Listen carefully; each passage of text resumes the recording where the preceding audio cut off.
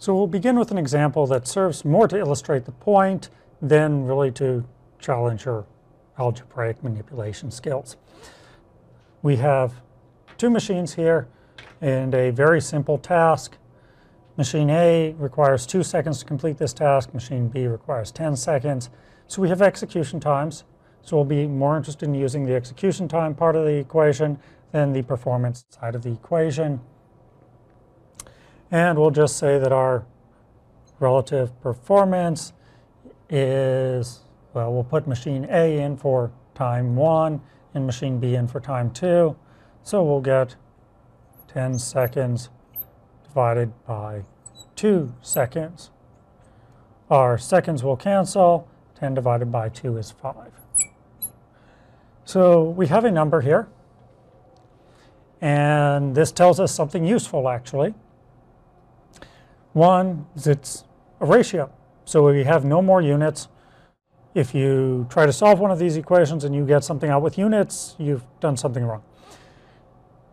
So we shouldn't expect to see units. And we get a number.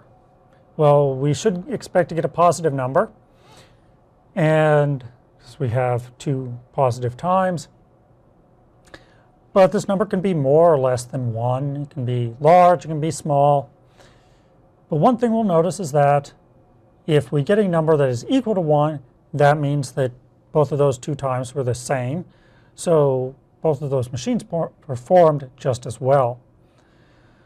If we get a number smaller than 1, though, that then means that one of those machines was worse than the other. If we get a number larger than 1, then we have a machine, one machine is better than the other.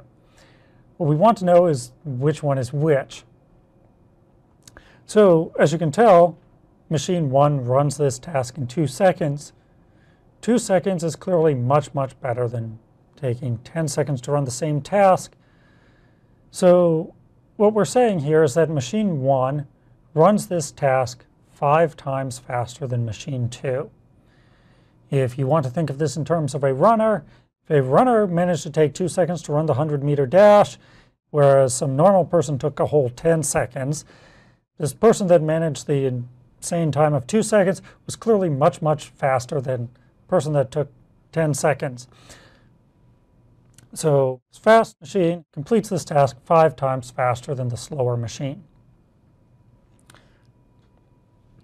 So we can say that machine A is 5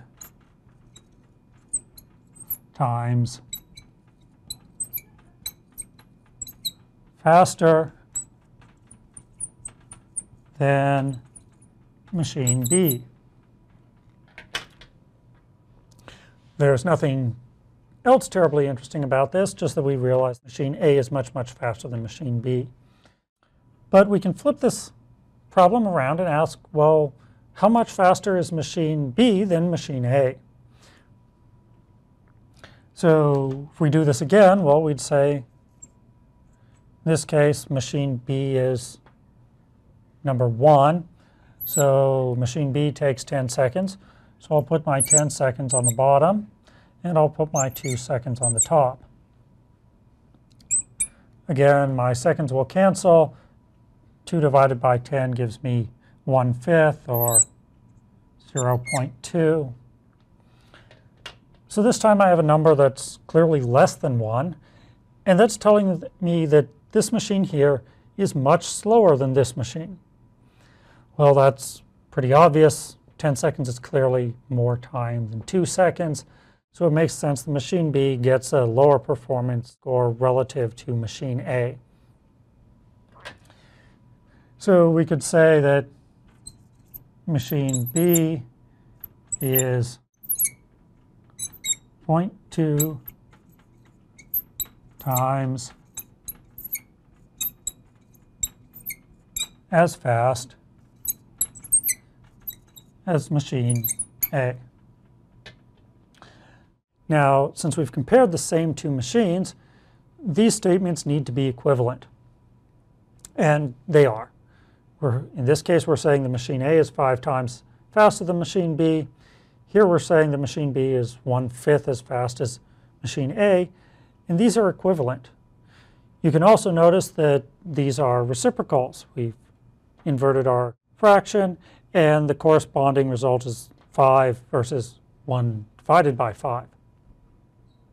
So when you're doing one of these problems, if you get a result out that clearly does not make sense, machine A was clearly faster than machine B, and you got a number saying 0.2, it's obvious you have your equation inverted.